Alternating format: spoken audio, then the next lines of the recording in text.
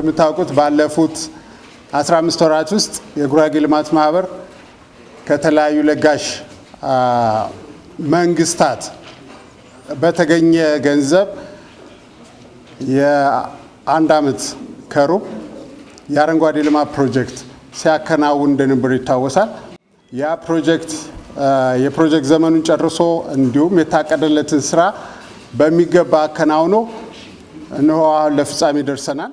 ይህ እንግዲህ የዚህ የፕሮጀክቱ ፍጻሜ ማብሰሪያና የፕሮጀክቱ ውጤቶች ለሚመለከታቸው አካላት ለተጠቃሚዎችና ለመንግስት አስፈጻሚ አካላት የሚተላለፍበት ስነ ስርዓት ነው።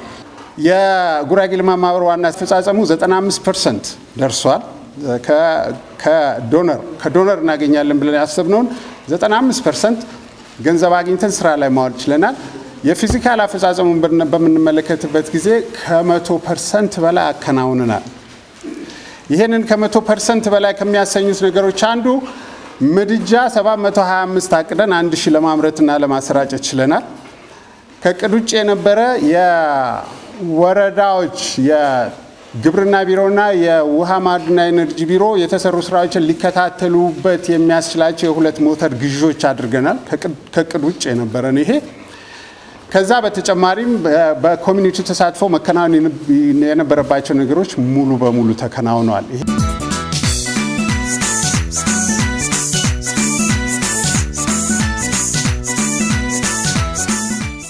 ይሄኛው እሺ፣ ይሄ በት መበጭበጫ ነው። መብራቱ እዚህ ነው ውስጥ ነው ያለው። አዎ። እሺ፣ እንግዲህ እዛ ጋር እንደምታዩት ሽንት ቤት አለው በሲሚንቶ የተገነባ ውስጡ። እዚህ ጋር እበት መበጥበጫ ነው። ከዛ እዚህ አሁን በአፈር ተሸፍኖ ተቀብረዋል እንጂ እዚህ ውስጥ አንደርግራውንድ ዶም አለ እና እዛ ውስጥ ይገባል። እዛ ውስጥ ጋስ ይፈጥራል። ጋስ ከፈጠረ በኋላ ጋስ እየተፈጠረ እያለ ያ ጋስ በፕሬዠር ያበት የያዘው ቦታ ጋሱ ይገፋ በሪያነት አቅም አለው እንደምታዩት። እና አንዱ ደግሞ እበት መበጥበጫ ውሃ ያስፈልጋል። ውሃ አላቸው። ሌላው ለመስኖ መጠቀም ይችላሉ። የሚወጣው ተረፈ ምርት ከዚህ ማለት ልክ እንደ ኮምፖስት ነው። ከፍተኛ ጋሱ የወጣለት ጥሩ ማዳበሪያነት። አንዳንድ ቦታ ላይ በባልዲ እንደውም አምስት ብር ነው የሚሸጠው።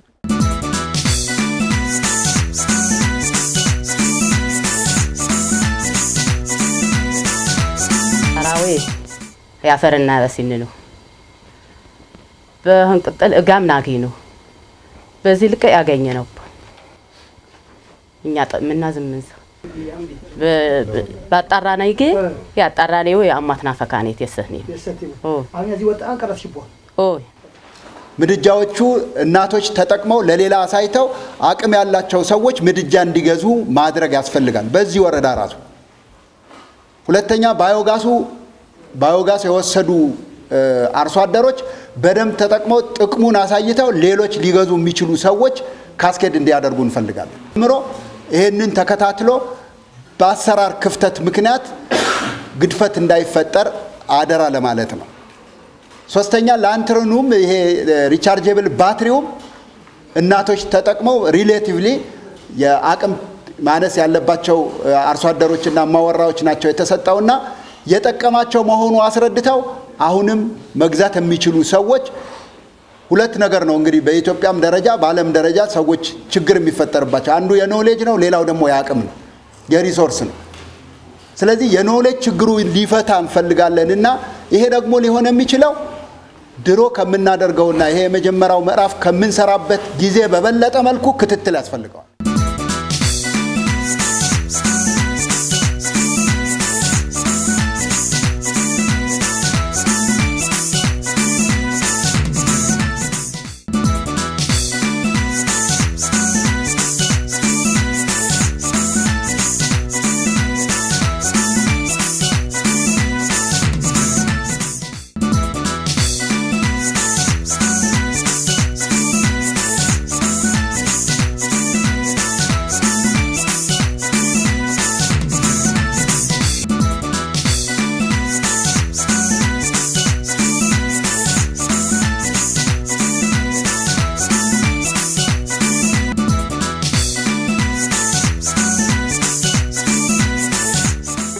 125 ሄክታር ነው። ከዛ ተነስቶ ከዛ አጥር ተነስቶ ይሄ ዞሮ ወደዛ ይዞራል።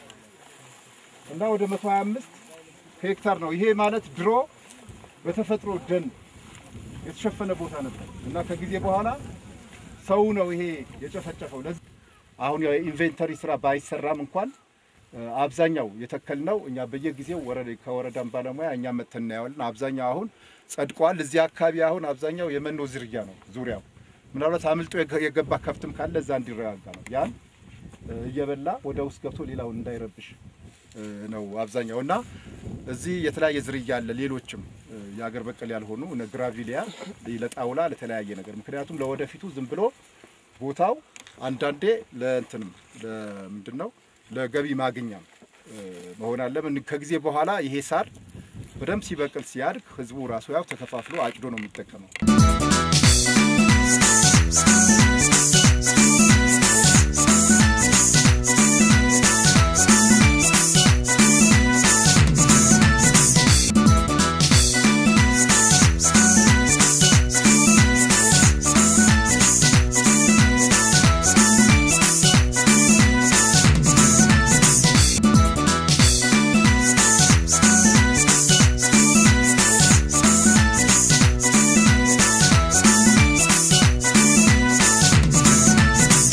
ሱናውራ ቀበሌ ነው እና solar business center ነው ይሄኛው የምንለው። የዚህ ጠቀሜታውም አንደኛው ነገር ለተለያየ ቢዝነስ፣ ለተለያየ ስራ፣ ለተለያየ ገቢ ማግኛ ጭምር ነው።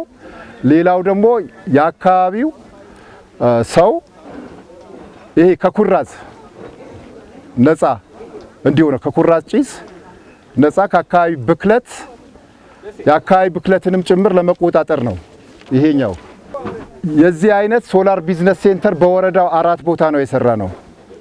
ሁሉ ቦታ በሚያማክል ሁኔታና የተለያየ criteria ወጥቶ በዛ መሰረት አራት ቦታ ነው የሰራነው።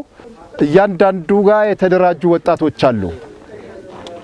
እያንዳንዱ አስር ወጣቶች እዚህ ተደራጅተዋል። እነኛ አስር ወጣቶች ሰልጥነዋል። ገቢ ለመና እውቅና አግኝተዋል። ከሚመለከተው መስሪያ ቤት እውቅና አግኝተዋል። ሰርተፍኬት አላቸው። ይሄኛው ለምን እየተጠቀሙበት ነው? አሁን እስካሁን ድረስ የተለያየ ሬዲዮ፣ ሞባይል ቻርጅ እያደረጉበት ነው እና ባትሪም ቻርጅ እያደረጉ እያስከፈሉ ገቢ ይሰበሰባሉ። በሌላ በኩል ደግሞ ጸጉር እያስተካከሉ ነው። ጸጉር በማስተካከል ይጠቀሙበታል። ሌላው ደግሞ አላማው እዚህ ጋር ቦታ አላቸው። ለወደፊቱ ራሳቸው ሰርተው ዲኤስቲቪ ምክንያቱም ወጣቱ የተለያየ ቦታ በአሁን ሰዓት እያየ ነው። ስለዚህ እዚሁ ዲኤስቲቪ ከዛ ገቢ እንዲያገኙበት ነው። ሌላው ደግሞ ይሄኛው lantern ባትሪ ይባላል።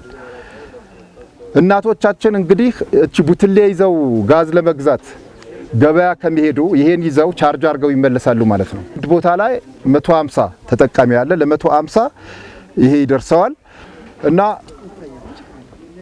አንዴ ቻርጅ ከተደረገ ወደ 16 ሰዓት ይሰራል።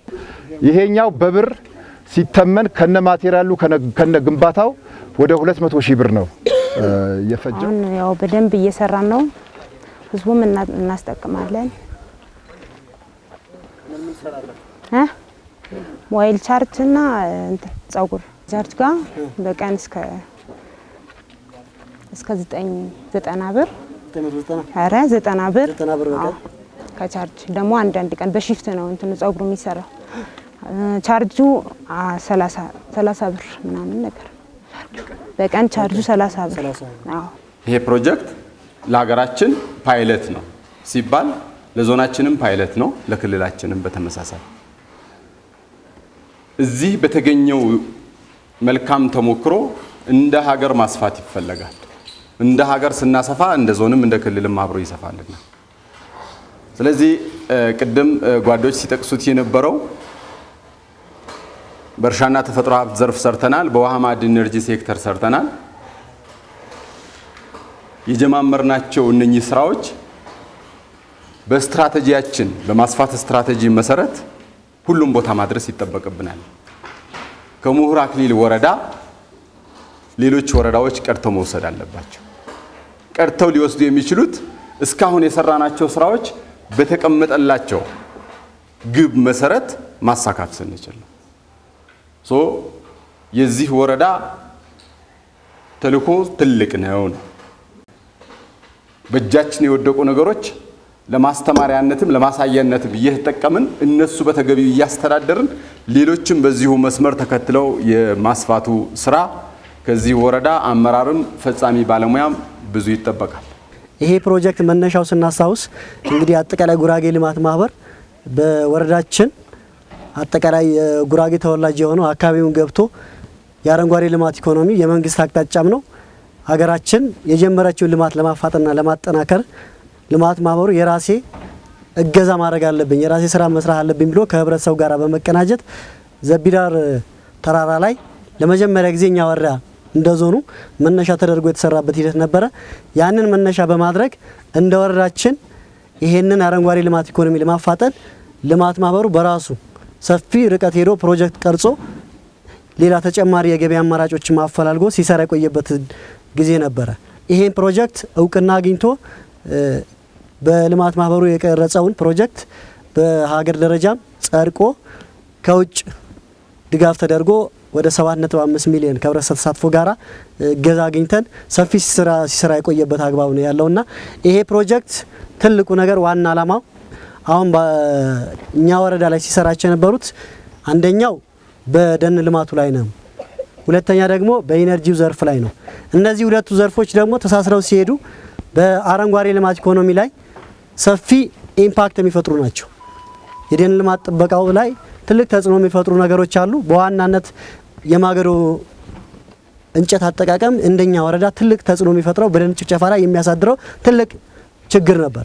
ስለዚህ ይሄን ለመቅረፍ ይሄንን የሚጨፈጨፈውን ደን መጠን ለመቅረፍ ምን ማድረግ አለብን የሚለው ነገር ሰፊ ፕሮጀክት ተቀርጾ የመጣበት አግባብ እንዳለ የምናስታውሰው ነውና ከዚህ መነሻ ተደርጎ ነው። አንደኛው በደን ልማት ላይ ነው።